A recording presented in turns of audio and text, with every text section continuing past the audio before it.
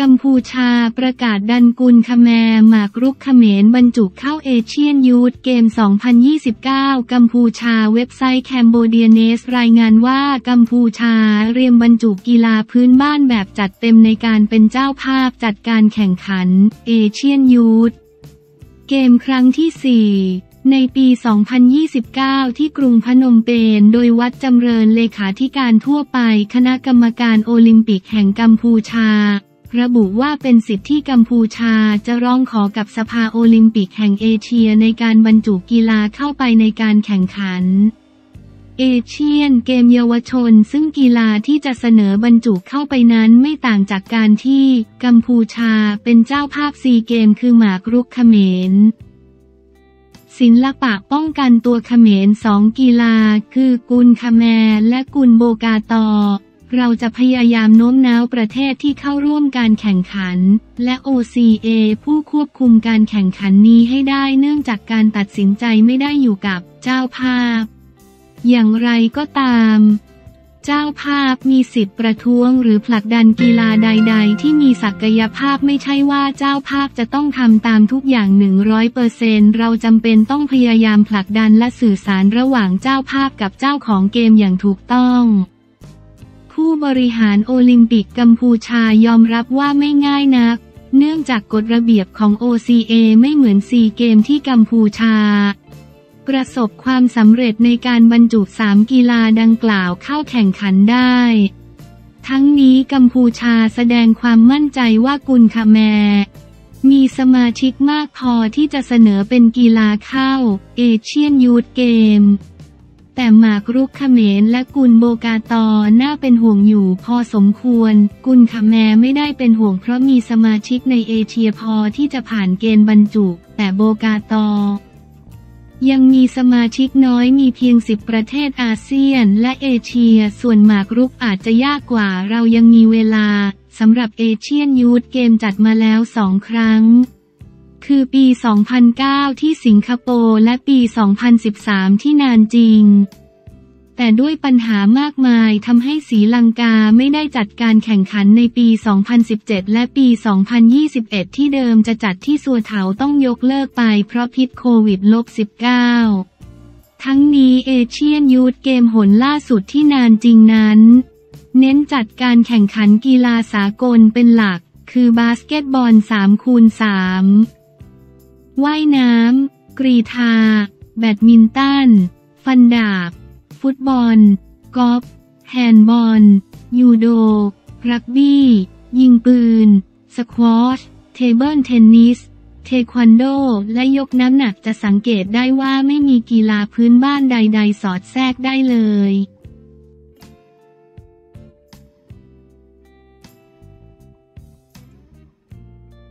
าลฎีกาตัดสิทธิดำรงตำแหน่งการเมืองสามอดีตสสภูมิใจไทย เสียบบัตรแทนกันศาลฎีกาพิพากษาสามอดีตสสภูมิใจไทย เสียบบัตรแทนกันให้ตัดสิทธิลงสมัครรับเลือกตั้งตลอดชีวิต ไม่มีสิทธิดำรงตำแหน่งทางการเมือง วันที่ 10 มกราคม 2567 ที่ศาลฎีกาสนามหลวง องค์คณะผู้พิพากษาศาลฎีกาอ่านคำพิพากษาคดีฝ่าฝืนมาตรฐานจริยธรรม หมายเลขดำที่คอมอจอเศษ3ส่วน 2564 ที่คณะกรรมการป้องกันและปราบปรามการทุจริตแห่งชาติ ยื่นฟ้องนายฉลองเทิดวีรพงษ์อดีต สสเขตสองพัทลุงพักภูมิใจไทย นายภูมิสิทธิ์คงมีอดีตสสเขตหนึ่งพัทลุงพักภูมิใจไทย และนางนาทีรัชกิจประการอดีตสสบัญชีรายชื่อพักภูมิใจไทย กรณีเสียบบัตรสสแทนกันในการประชุมสภาสำหรับคดีนี้จำเลยทั้งสามคนถูกกล่าวหาว่ายินยอมให้บุคคลอื่นเสียบบัตรแสดงตนแทนกันในการลงมติเรียงตามรายมาตรา ในการพิจารณาร่างพระราชบัญญัติพรบ งบประมาณรายจ่ายประจำปีงบประมาณ 2563 วาระที่2ถึง3เมื่อวันที่ 10ถึง11 มกราคม 2563เป็นเหตุให้พรบดังกล่าวตราขึ้น โดยไม่ถูกต้องตามบทบัญญัติแห่งรัฐธรรมนูญ เป็นการปฏิบัติหรือละเว้นการปฏิบัติอย่างใดในตำแหน่งหรือหน้าที่ หรือใช้อำนาจในตำแหน่งหรือหน้าที่โดยมิชอบ เพื่อให้เกิดความเสียหายแก่ผู้หนึ่งผู้ใด หรือปฏิบัติหรือละเว้นการปฏิบัติหน้าที่โดยทุจริต และไม่รับผิดชอบต่อหน้าที่อันสำคัญที่ได้รับความไว้วางใจจากประชาชน เข้าลักษณะเป็นการฝ่าฝืนหรือไม่ปฏิบัติตามมาตรฐานทางจริยธรรมอย่างร้ายแรง เหตุเกิดที่อาคารรัฐสภาแขวงถนนนครชัยศรี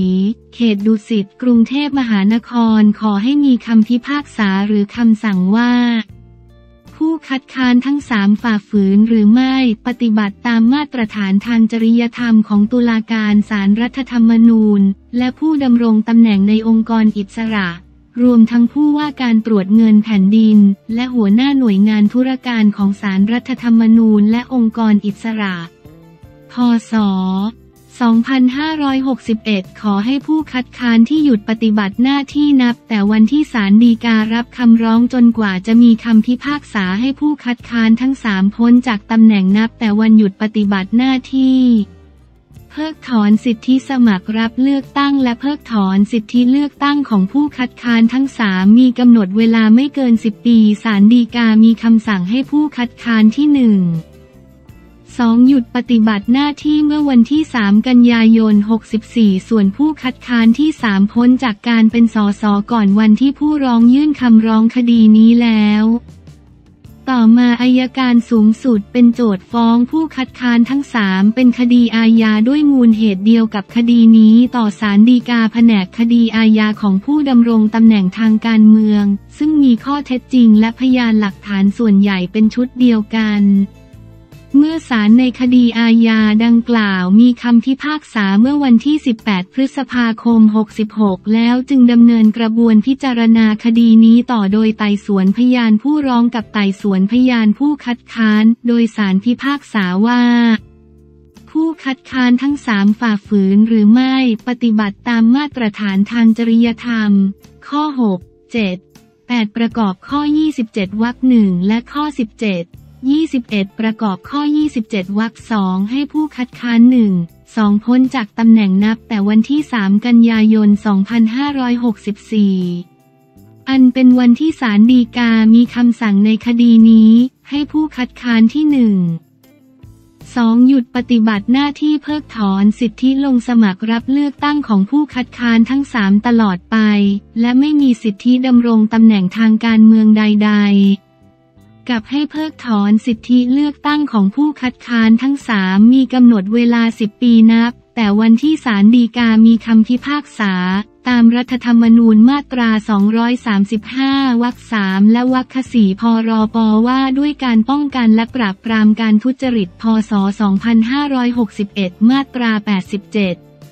ประกอบมาตรา 81 คำขออื่นนอกจากนี้ให้ยกผู้สื่อข่าวรายงานว่าเมื่อวันที่ 18 พฤษภาคม 2566 ศาลฎีกานักการเมืองพิพากษาจำคุก อดีตสสภูมิใจไทยทั้งสามคนให้จำคุกคนละ 9 เดือนไม่รอลงอาญาและสั่งให้จำเลยพ้นจากตำแหน่งทางการเมือง พร้อมตัดสิทธิลงสมัครรับเลือกตั้งตลอดชีวิต ต่อมาจำเลยทั้งสาม ยื่นหลักทรัพย์พร้อมคำร้องขอปล่อยชั่วคราว ระหว่างชั้นวินิจฉัยอุทธรณ์ศาลพิจารณาแล้วอนุญาตปล่อยชั่วคราวตีราคาประกันคนละหนึ่งล้านบาท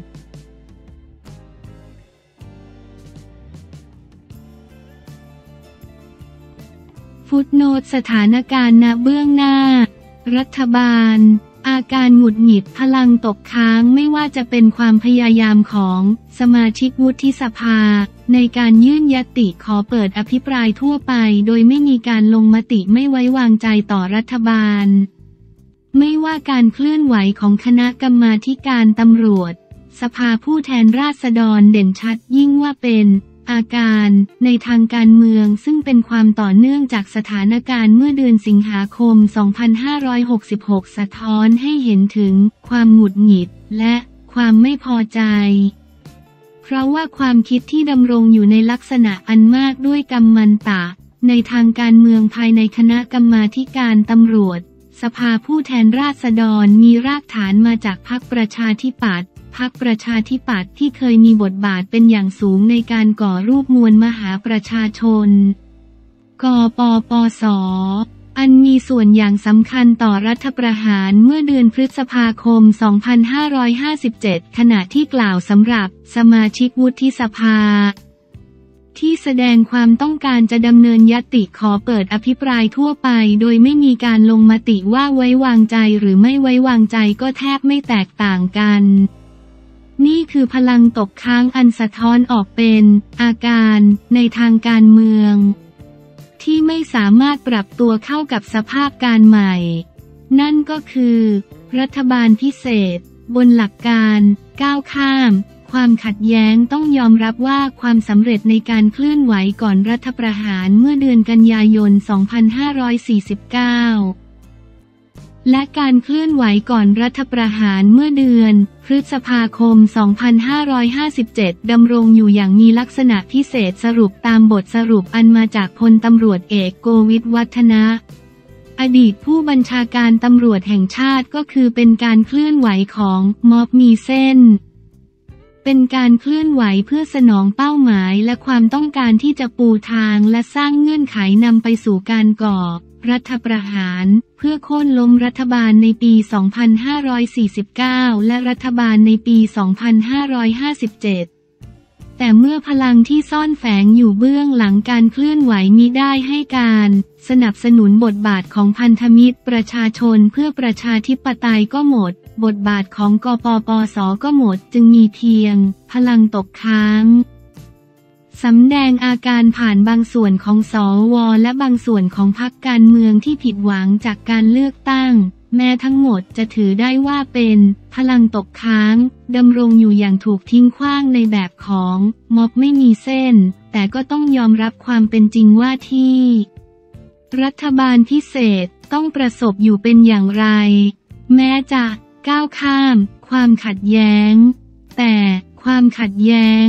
ก็ยังดำรงอยู่อาจถือได้ว่าเป็นความขัดแย้ง ภายในอาจมองได้ว่าในที่สุดก็สามารถที่จะประนีประนอมกันได้